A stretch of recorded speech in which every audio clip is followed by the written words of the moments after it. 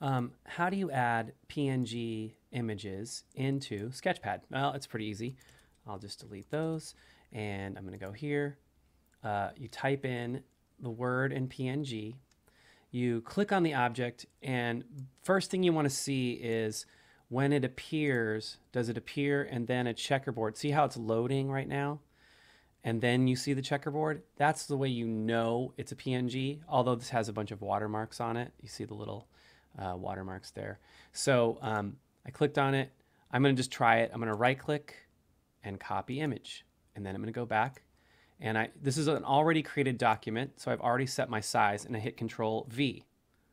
Oops, I click on the screen, hit control V. Okay. Now, if it's larger, like in this case, this image is 2000 by a thousand or something. I'm just gonna, um, I can zoom out using my scroll bar. You can use two fingers and I think drag down, or you can use your roll bar on your mouse and um, you can resize it. And then it'll fit. I love, I actually looks really cool. And then I can zoom back in. You can also use this magnifying glass tool. Where is it? Right there.